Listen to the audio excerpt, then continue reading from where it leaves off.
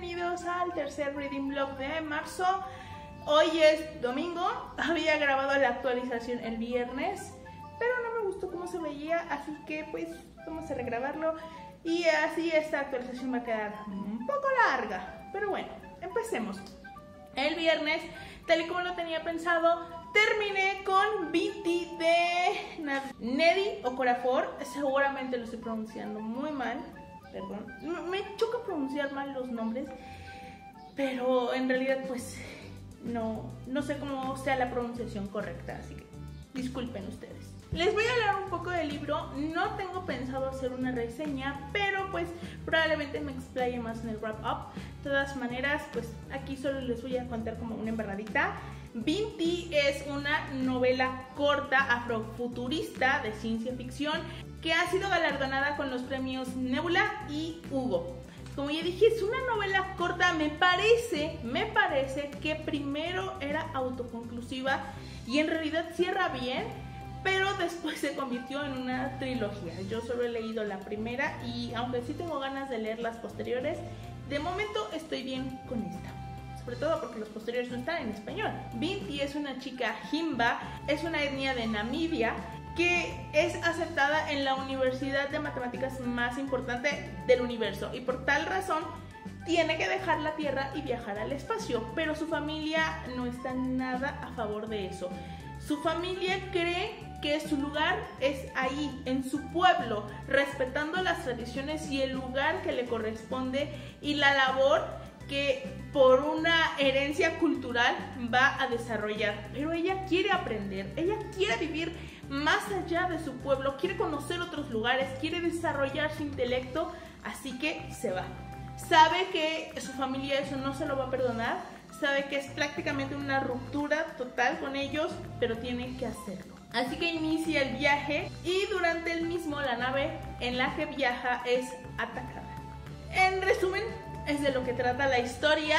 El final me parece un poco raro, lo sentí un tanto como anticlimático, tal vez porque nunca esperé que la solución viniera de esa manera, pero lo que pasa es que siento que el peso de la historia no está tanto en ese peligro sino en otro. El peso está en las emociones que enfrenta Vinti e en otras cosas de los que la autora hace una crítica velada. O sea, no dice exactamente esto es, pero ahí está. Pero en el caso de Vinti vemos esa lucha por aprender, esa, esa dualidad entre querer salir al mundo, pero también sentirte muy unida a tu pueblo, a tus raíces, a tu hogar.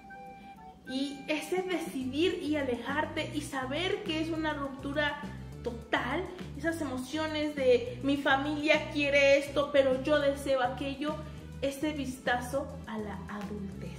Es como el eje central de Vinti. Quiero leer los dos posteriores, pero también ahora tengo muchas más ganas de leer Quién teme a la muerte de esta misma autora y que se va a convertir en serie de televisión, me parece que por HBO y creo que va a ser producida por George R. R. Martin, si mal no recuerdo. Así que tengo muchas ganas de leer ese libro antes de, pero no creo comprármelo, así que las cosas van a ir más lentas de lo que me gustaría. Y bueno, ese libro ya lo terminé. Y también otra lectura muy breve que en realidad no la cuento como tal, sino que les quiero contar porque se me hizo muy curioso. Es una novela Arlequín. La novela como tal no me la leí completa, o sea, ni siquiera la voy a contar. Me leí únicamente las páginas que aparecen en la vista previa de Google Books, pero, o sea, lo comento porque me hizo mucha gracia. Sí, cuando yo empecé a leer este libro, yo decía, me suena conocido. Es que esta escena me suena conocida de algo. Ya leí esta novela y no, no lo recuerdo aquí me está sonando. Y luego caí en la cuenta de que esta novela es un retelling de Cumbres Borrascosas. Este libro es El retorno de un extraño de Kate Walker y la verdad es que en la sinopsis no dice por ningún lado que sea un retailing. No sé si en la edición gringa sí lo menciona porque yo creo que me parece recordar que en Estados Unidos y en Inglaterra Cumbres Borrascosas es una lectura escolar, así que obviamente es más fácil que alguien allá se hubiera dado cuenta. Tal vez en la sinopsis de ella sí lo menciona, pero en esta por ningún lado, pero yo decía, es que esta escena se me hace conocida, ¿dónde la he visto? Se me... Pues claro, se copió escenas enteras, o sea, solo porque ahora lo trasladó como a la actualidad y ocurre en Yorkshire, que si mal no recuerdo, creo que Cumbres las cosas también ocurría ahí. O sea, incluso los nombres Catherine y Heath, Catherine y Heathcliff, ¿ok? Sí se me hizo muy curioso y en esta versión, obviamente, Catherine y Heathcliff terminan juntos. No la he ido completa porque pues, parece mejor releo Cumbres cosas Pero me pareció muy curioso haberme topado con este libro. Mi lectura actual es La distancia entre nosotros de Reina Grande. Este libro es como una autobiografía de la autora. Ella nos cuenta que nace en Iguala, Guerrero, y cuando es muy pequeña, sus padres se van a trabajar a Estados Unidos. Primero se va su padre cuando ella era muy muy pequeña y cuando ella tiene como cuatro años, su mamá también se va para que entre los dos trabajen pues más rápido y construyan la casa. Entonces ella se queda con sus hermanos al cuidado de su abuela paterna, la cual no los trata muy bien que digamos, pero además para la sociedad de ese pueblo ellos ahora son como huérfanos. Porque aunque sus padres estén vivos, se han ido a Estados Unidos y la idea general por experiencia de muchos otros que se han ido, es que no van a volver. Y eso, obviamente, a Reina y a sus hermanos les provoca mucho dolor. Es precisamente esa sensación de abandono, el miedo a perder a sus hermanos, el aferrarse a esos recuerdos de su madre, a la figura del padre que en realidad convivió muy poco con él, es de lo que va tratando el libro hasta ahora. Es un libro que se lee muy rápido, está cortito, son como 350 páginas y está cortito. Voy en las 100. No sé si lo voy a terminar hoy o mañana porque ahorita tengo tiempo libre y bien puedo acabarlo, pero también tengo como ganas de leer manga o ver una película, así que no sé, hoy es mask time, así que ya veré qué hago, si lo termino de eso me ocupo mañana. Ya les estaré contando en la próxima actualización.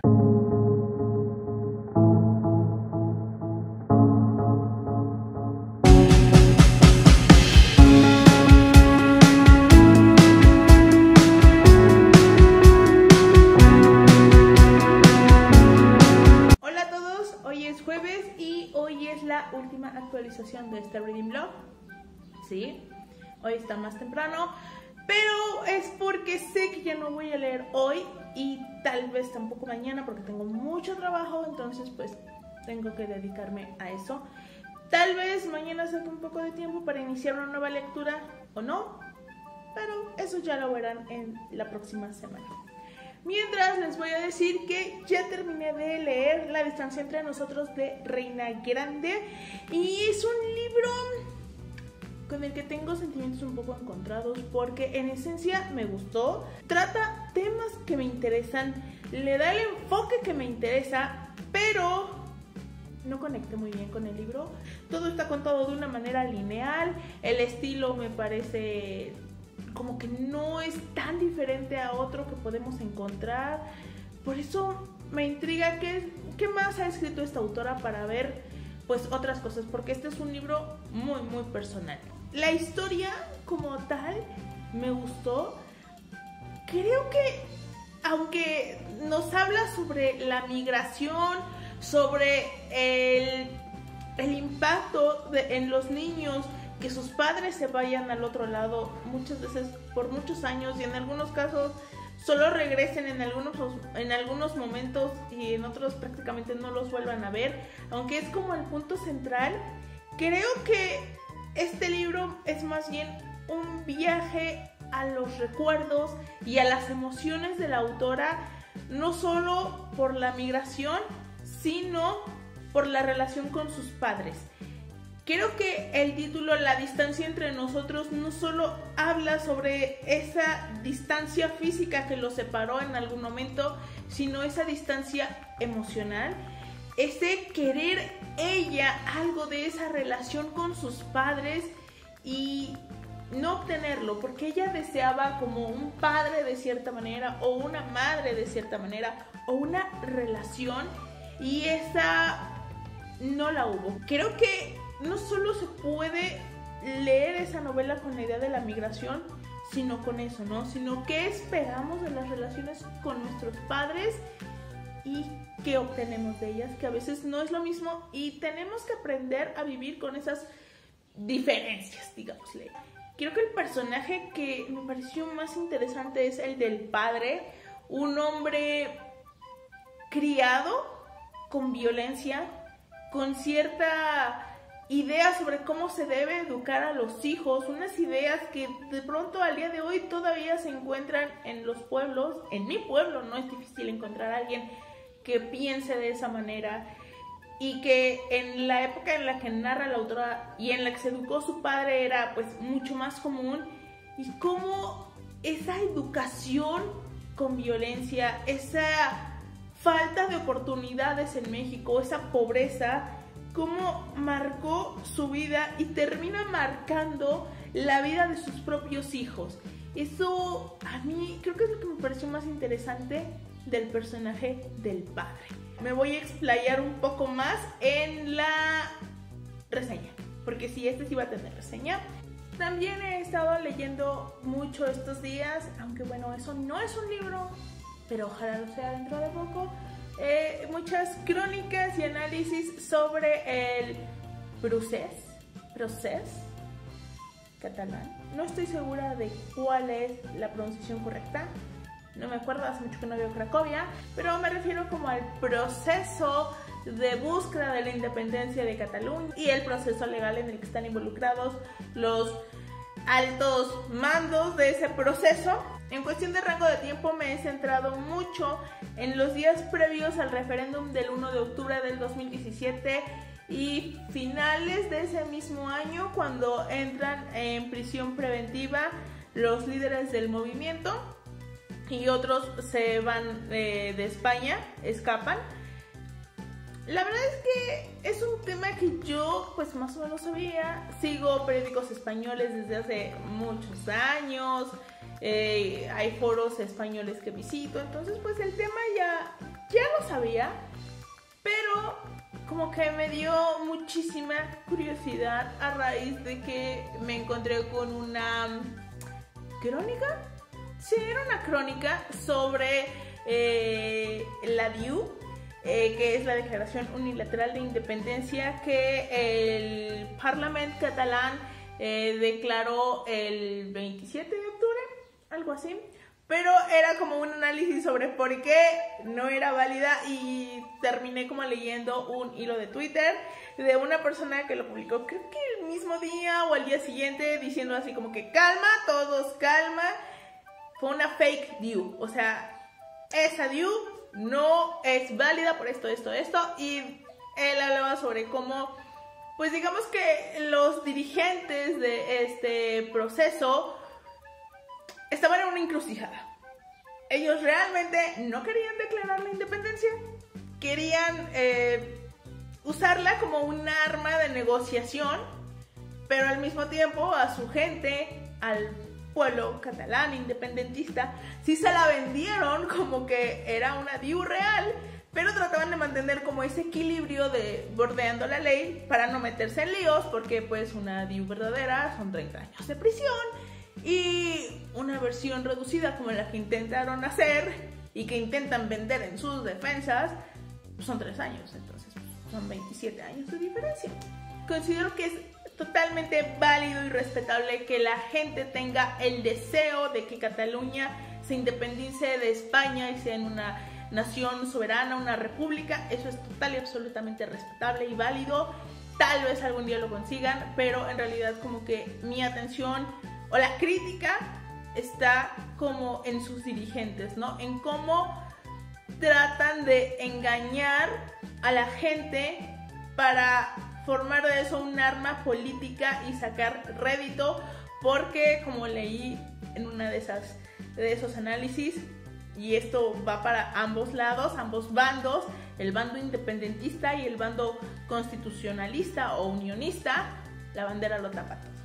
Entonces, a mí me pareció sumamente interesante lo que he leído porque habla sobre el manejo de la comunicación, habla sobre la política, sobre las bambalinas, sobre muchas cuestiones identitarias y yo quisiera en verdad que una editorial le ofreciera a este usuario de Twitter que hizo esa, ese hilo y que ha hecho otros hilos que me he leído eh, haciendo esfuerzos con las búsquedas de Twitter. Y quisiera que alguna editorial le ofreciera hacer un libro que hablara como todo sobre este proceso. Es un proceso muy largo. Obviamente yo soy mexicana, yo lo veo desde fuera. Entonces tengo una visión lejana sobre eso y un poco pues distante en conceptos y en contexto. Y en verdad me gustaría un libro, o sea, me parece un tema muy, muy interesante desde varios ángulos. Más allá sobre el debate de qué tan válida es la independencia de una región, ¿no? X o Y, ¿no? Sino el debate de cómo lo manejan los políticos y cómo hacen uso de él. Yo compraría ese libro. No sé si la editorial no se les ha prendido el foco y no se han acercado con este tuitero que lo hace, que escribe bajo un seudónimo. No sé si se lo han planteado o no, o tal vez él no le interesa o prefiere esperar a que termine el juicio y a partir de ahí escribir algo. No lo sé, pero necesito ese libro. De verdad me parece sumamente interesante esto, ¿no? Y quiero recalcar que yo respeto el sentimiento independentista de los catalanes, pero a mí lo que me interesa es cómo han hecho uso de él los políticos. Y ya, eso fue todo por el día de hoy, por este Reading Blog. Nos vemos en el cuarto y último, que viene cargadito porque son 10 días. Vamos a ver qué tanto logro leer. Si los planes se cumplen, tal vez vean algunas compras y tal vez los llevé a conocer a una supermodelo. Nos vemos.